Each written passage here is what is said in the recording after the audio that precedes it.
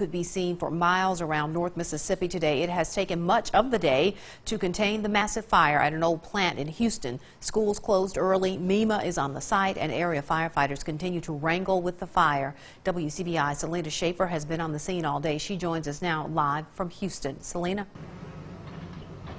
That's right. This fire behind me has been burning since around 9 a.m. this morning, and it shows no signs of stopping. That's because sitting inside this old textile factory was 2.2 million pounds of polyfoam. Polyfoam is a petroleum product, petroleum-based product, so it's just it's going to burn and burn for a while. That's what's putting off all this black smoke. Smoke that could potentially be toxic to residents. The wind's helping us right now. It's keeping the smoke aloft. The factory is 40,000 square feet, and every inch of it has burned. With the potential of toxic air, Houston Fire Department's Chief Deputy Jonathan Blankenship says other agencies have shown up to assist. We have Department of Environmental Quality on the way. They're going to be doing air monitoring for us, so uh, we should know more after they get here as far as the air goes.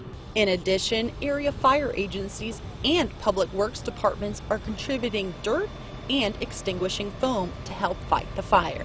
We're going to be out here as long as it takes. We're going to be out here tomorrow. You don't never know. We're just urging the residents to keep their windows and doors closed just to keep the smoke out of their homes.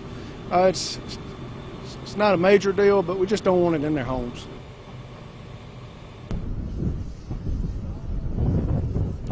Blankenship says the fire is expected to burn throughout the weekend. The department plans to monitor both the smoke and flames closely.